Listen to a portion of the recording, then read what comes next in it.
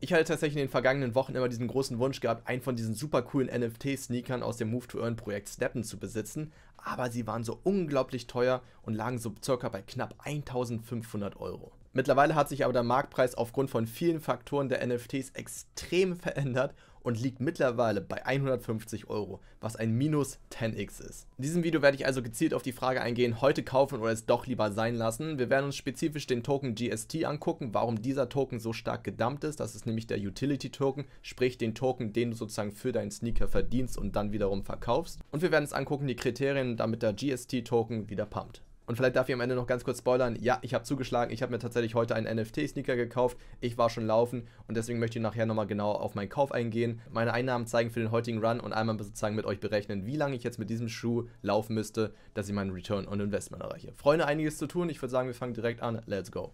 Also gucken wir zunächst einmal den GST-Token an und hier die Frage, warum ist der Token so stark gefallen? Wie wir ja sehen können, hat der Move-to-Earn-Hype hier im April so richtig schön Fahrt aufgenommen und Ende April waren wir hier bei knappen oh, 8 Dollar angekommen. Knapp 8 Dollar für einen GST-Token, das ist wirklich unglaublich. Aber was jetzt passiert ist, das ist wahrscheinlich genauso unglaublich, denn mittlerweile sind wir hier so richtig runtergestürzt, unter 1 Dollar und wir sind jetzt fast bei 0,6 angekommen und das ist schon wieder ein minus 10x. Und hier ist natürlich interessant, dass wir hier sozusagen immer so eine Art Korrelation haben. Das heißt, dieser GST-Token hängt irgendwie so ein bisschen mit den Schuhen zusammen. Und ich würde sagen, das Ganze ist im Endeffekt ja auch logisch, denn im Endeffekt kaufen wir uns die Schuhe, um dann im Endeffekt den GST-Token zu verdienen. Das heißt, diese beiden Spieler sind immer im Verhältnis miteinander. Interessant ist jetzt aber natürlich nochmal die Frage, was ist denn hier im April passiert? Warum ist es so unglaublich hochgepumpt? Und was ist denn hier unglaublich Schlimmes passiert, dass alle auf einmal verkauft haben? Und im Endeffekt ganz einfach ausgedrückt, sag ich mal, war hier nichts anderes als Emotion im Spiel. Erst fing es an, dass alle sozusagen ein Teil der Community sein wollten. Das heißt, jeder wollte einen Sneaker besitzen. Oh mein Gott, 3 Dollar. Oh mein Gott, pumpt es noch höher. 7 Dollar. Ey, das geht bestimmt noch auf 10 Dollar hoch. Alle haben wie wild eingekauft. Und jetzt ein fataler Fehler. Was alle gemacht haben ist, du kannst ja deinen Schuh upgraden. Das heißt, du kannst deine Tokens reinvestieren. Das heißt, mit dieser Strategie gehst du davon aus, dass dieser Token, der GST-Token, immer weiter pumpt und du sozusagen erstmal alles reinvestierst, um dann nachher ganz, ganz viele Tokens zu bekommen, um die dann für 10 Dollar plus zu verkaufen aber ich glaube, das war ein Wunschgedanke. Diese Strategie hat sich auch bei ganz vielen zu ganz, ganz viel Verlust geführt. Denn warum das Ganze hier sozusagen Anfang Mai so extrem weggecrashed ist, ist folgender Grund. Und zwar wieder Emotion. Alle hatten Panik. Alle haben gemerkt, oh mein Gott, ich habe jetzt irgendwie 1500 Dollar reinvestiert, alles immer reinvestiert. Ich habe actually noch keinen einzigen Cent aus diesem Projekt rausgenommen. Und dann kam tatsächlich auch ein AMA, wo die Entwickler gesagt haben, hm, so der Tokenpreis von GST ist uns eigentlich recht egal. Und auf einmal ging die Panik los. Alle haben angefangen, ihre Strategie zu ändern, alle Tokens direkt immer verkauft und ab diesem Zeitpunkt Punkt wurde sozusagen kein Token mehr reinvestiert, sondern alle täglichen Tokens, die du verdient hast, immer wieder verkauft. Und wie setzt sich natürlich am Ende der Preis eines Tokens zusammen? Angebot und Nachfrage. Und wenn sozusagen noch alle verkaufen, dann ist es natürlich auch klar, dass dieser Token extrem abfällt. Welches Problem wir jetzt schlussendlich haben, dass alle sozusagen nur noch ihre Tokens, ihre GSTs verkaufen wollen, irgendwie noch Verluste sozusagen wieder gut machen wollen, das heißt ein wenig dichter an ihren Return on Investment rankommen, aber der Token hat halt leider aktuell so gut wie keinen Mehrwert mehr, denn keiner will mehr die Sneaker upgraden und das Problem ist einfach, das ist so mehr oder weniger das einzige Burning Mechanism und natürlich neue Sneakers zu minden. Die Lösung tatsächlich für dieses Problem ist ganz einfach, wir brauchen wieder einen Mehrwert für den GST-Token und wie schaffen wir das? Indem im Endeffekt neue Spieler in das Spiel sozusagen einsteigen und investieren. Und ich glaube tatsächlich aus zwei Gründen, dass tatsächlich nochmal extrem viele neue Spieler in das Move to Earn Projekt steppen eintreten werden. Der erste Grund ist tatsächlich, dass das Ganze sozusagen noch eine Art Beta ist und für diese Beta, um sie überhaupt spielen zu können, brauchst du immer noch einen Activation Code. Ich denke, mittlerweile sind diese nicht mehr ganz so rar, das heißt, äh, du kannst mittlerweile deutlich leichter einen bekommen, aber dennoch ist es immer noch so eine kleine Hürde, in dieses ganze Spiel einzusteigen. Würden sie diese Barriere removen, könnten nochmal eine ganz andere Masse in das ganze Spiel reinkommen. Ich denke aber bewusst, dass sie sozusagen hier diese Barriere noch aufrecht halten, damit insgesamt sozusagen dieses Wirtschaftssystem nicht komplett explodiert, alle reingehen und das Spiel noch sozusagen nicht ganz fertig ist, sondern sie warten tatsächlich hier noch auf einen genauen Zeitpunkt. Und welcher Zeitpunkt das sein könnte, ich glaube, ich habe da so tatsächlich äh, eine starke Vermutung und dafür gucken wir einmal auf die Roadmap. Und zwar sehen wir jetzt in Q3, dass wir in Juli ein Achievement-System bekommen, was ich tatsächlich sehr interessant finde. Sozusagen nochmal ein weiterer Anreiz, irgendwie laufen zu gehen, das ist immer motivierend. Dann gibt es auch irgendwie wahrscheinlich Quests, das ist einfach auch sozusagen ähnlich wie Achievements, aber vielleicht nochmal ein wenig einfacher runtergebrochen. Ebenfalls genauso interessant, könnten auch beides Burn-Mechanismen sein,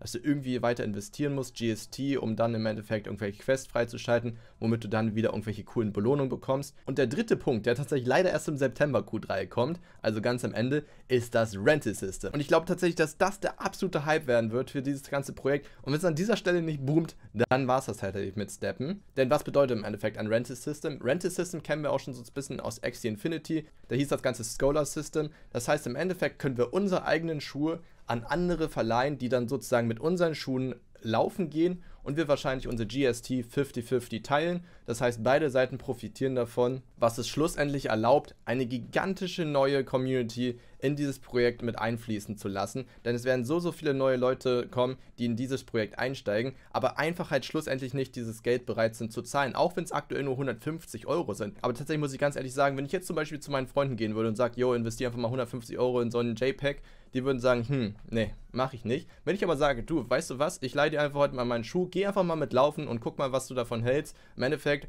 du kannst 50% der Tokens behalten.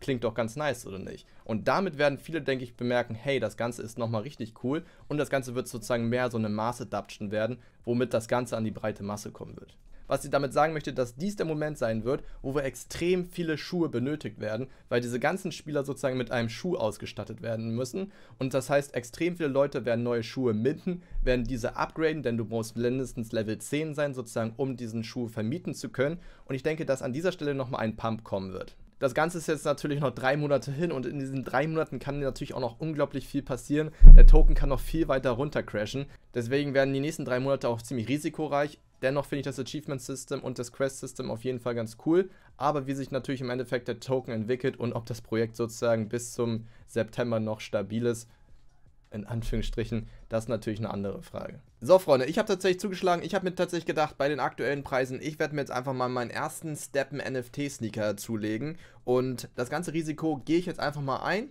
Ich habe für mich persönlich beschlossen, dass es meiner Meinung nach aktuell ein ganz interessanter Zeitpunkt ist zum Einsteigen. Und genau das ist mein Sneaker, den möchte ich euch hier einmal genauer zeigen. Ich habe hier sozusagen direkt mir einen Common Level 9 Sneaker gekauft. Das heißt, ich habe sozusagen nicht einen Starter-Sneaker mit Level 1, sondern sozusagen einen, der bereits schon ein wenig geupgradet war. Warum gerade 9? Weil das sozusagen genau die Stelle ist, wo es sozusagen nochmal eine ganze Ecke teurer geworden ist von den Sneakern. Denn Level 10, das Upgrade ist sozusagen weitaus teurer. Und daher dachte ich, ist Level 9 sehr lukrativ an der Stelle. Und zwar habe ich hier sozusagen mich auch ganz schlau gemacht und bei den Attributen gut drauf geachtet, dass es auf jeden Fall von den Base Stats wir eine hohe Efficiency haben. Da liegen wir auch tatsächlich bei 8,1 und die Resilience immerhin bei 3,7. Könnte ein wenig besser sein, aber finde ich auch tatsächlich gar nicht so schlecht. Die anderen Werte liegen auch so zwischen 4 und 5, was ich auch tatsächlich nicht bad finde.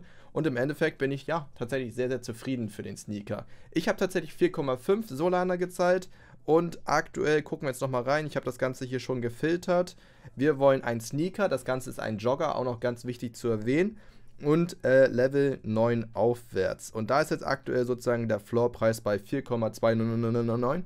Und ich habe mir einfach mal gedacht, okay, da habe ich jetzt wie gesagt vor zwei Tagen zugeschlagen, habe mir jetzt einen vor 4,5 gekauft, äh, minus 0,2 Solana Verlust finde ich jetzt nicht so schlimm, denn aktuell, was ich jetzt schon sozusagen gejoggt habe, müsste ich auch tatsächlich schon diese 0,2 auf jeden Fall wieder im Plus sein, also sozusagen die Differenz. Womit wir uns natürlich jetzt alle natürlich die Frage stellen, na Nick, wie viel verdienst du jetzt im Endeffekt mit deinem Sneaker am Tag? Und ich habe sozusagen heute einfach mal meinen Run ganz kurz aufgezeichnet. Die Steppenschuhe sind angezogen, Klettverschluss ist verschlossen und jetzt kann es losgehen. Einen richtig schön entspannten Morning Run. Wichtig tatsächlich bei unserem Schuh, dass wir jetzt eine Durchschnittsgeschwindigkeit von 4 bis 10 km/h joggen und das Ganze jetzt über einen Zeitraum von 10 Minuten.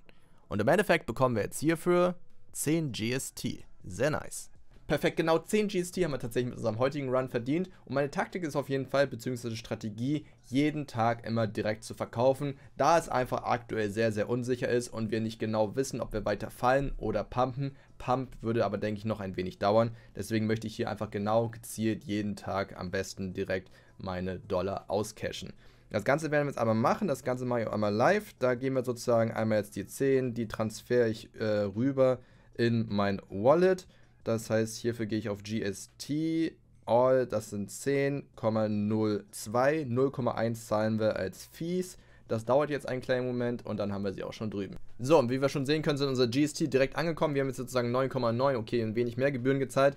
Äh, wir müssen jetzt aufpassen, bevor wir es umwandeln, denn wir haben sozusagen schon 22,9 USDC, also sozusagen Stablecoin im Dollar hier liegen. Das ist jetzt von den vergangenen Tagen. Und jetzt werden wir einmal auf Trade gehen. Und zwar wollen wir unsere GST, alle die wir haben, in USDC umwandeln. Und das sind immerhin 6 Dollar. Die nehme ich auf jeden Fall.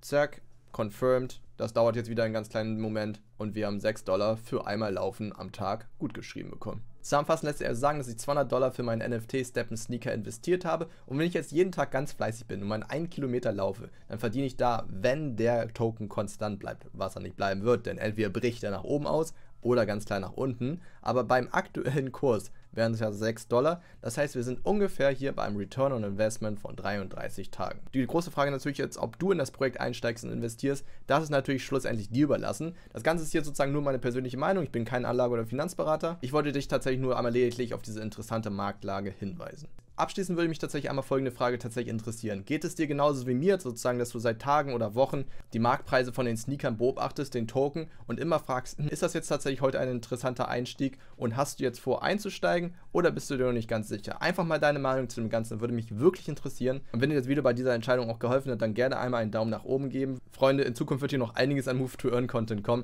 deshalb würde ich dir auch an dieser Stelle raten, einmal den ganzen Kanal Nickcoin zu abonnieren. Wenn du grundsätzlich noch recht frisch bei Steppen bist, würde ich auf dir auf jeden Fall dieses Video empfehlen. Vielleicht hilft es dir mit den einen oder anderen Fragen. Ich werde mich tatsächlich erstmal von meinem Run ausruhen. Freunde, ich freue mich auf euch im nächsten Video. Haut rein, euer Nick.